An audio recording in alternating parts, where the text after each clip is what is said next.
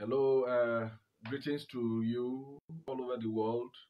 I welcome you to another edition of uh, Mentoring with Bola Adewara. Today we are moving towards uh, marriage, and uh, as advertised yesterday, we want to look at uh, the issue of disclosures. I call it uh, be careful what you uh, tell your spouse about your past. Be careful what you tell your spouse about your past. A lot of people uh, feel that once they are in love, they are at par, and that uh, whatever they do um, or whatever they disclose to one another is of no essence or stuff like that in their marriage. While it may feel like uh, you need to reveal uh, each and every one of your secrets in order to have a healthy relationship, it's actually okay to be discerning when it comes to what uh, you do and don't tell your partner, especially if uh, the information is uh, uncomfortable, embarrassing, or may negatively impact on your relationship. Uh, relationships don't have to be a complete open book. So many people think that uh, because I'm married to you, therefore everything I have done in the past must be told to you. Uh, there are some things that you might want to keep private because you find them embarrassing or regretful. Also, some things you can keep private because your partner just wouldn't need them. There are some things that are not necessary in your relationship. While the choice is up to you, it's always a good idea to weigh the cons, the pros and cons before sharing something uh, about your past with one another. You must proceed knowing that um, information is necessary to share. If uh, it feels like the information is crucial to the health of your relationship, go ahead and spill the beans, no matter how awkward it seems. Uh, here are some uh, things from your past you might want to share versus things that uh, you are not obligated to share with your partner. But before I go into that, um, I want to tell you, I want to share some true experiences I had uh, in the past on this issue uh, because um, I had to find time to do uh, this story on this book um, marriage 40 things you must know. What I want to teach you today concerning this issue of matrimony is in this book, Marriage 40 Things You Must Know. Um, sometime in 2015, a friend and his uh, wife summoned me to their Surulere house uh, to speak with uh, the sister in law who was about to divorce, to pack it up with her husband. Their marriage was just six years old. On getting there, I met Ify and we got talking. She uh, met Paul, that is her husband, uh, seven years ago. He was an instrumentalist in the church, and she was just uh, a single lady in the youth ministry.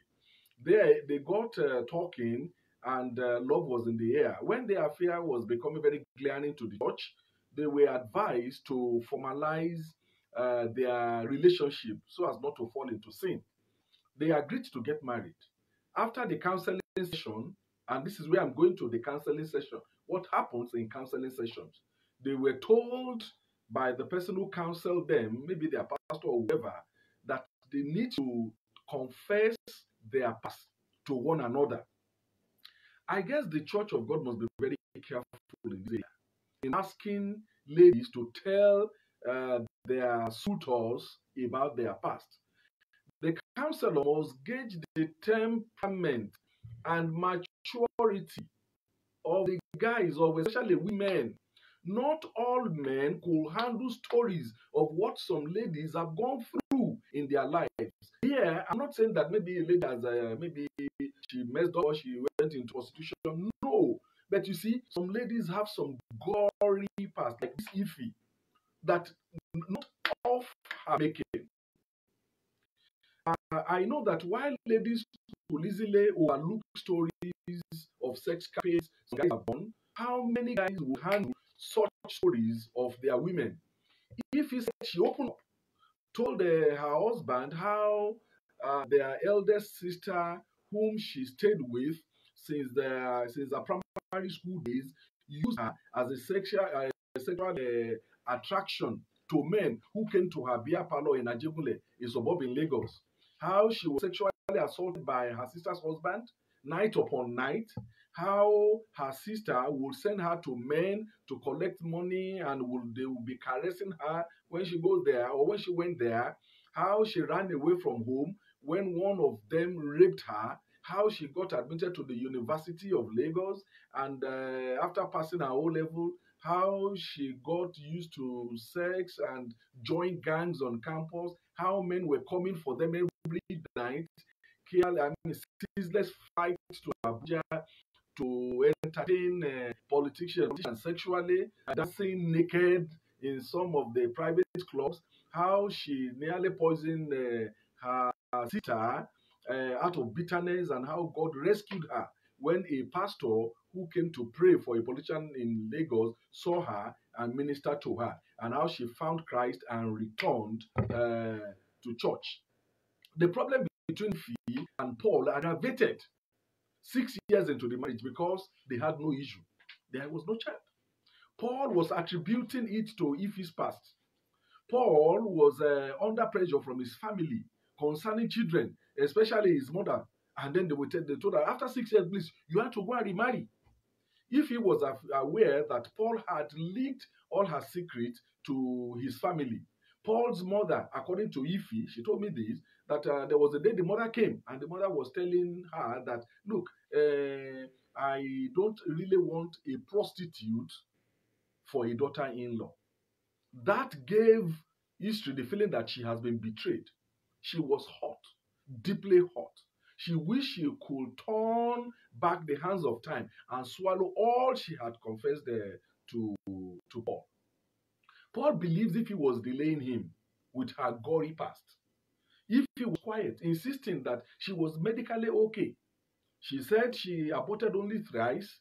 Every discussion about uh, discussion they had at home ended in bitter fights, where Paul will refer to her past. Any little thing, Paul will refer to her past. I guess our religious organization should uh, employ professional counselors who are trained in relationship matters so that Ifys, the Ifys of this world, will not wreck their homes with their mouth. I am not saying that all men are immature in matters like this. No.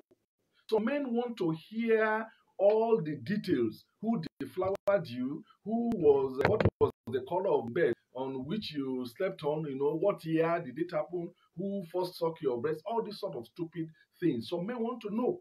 But can they handle such informations? I am not saying opening up is bad, but study your spouse to see if she can carry or if she if he or she can carry news. It is a matter of wisdom.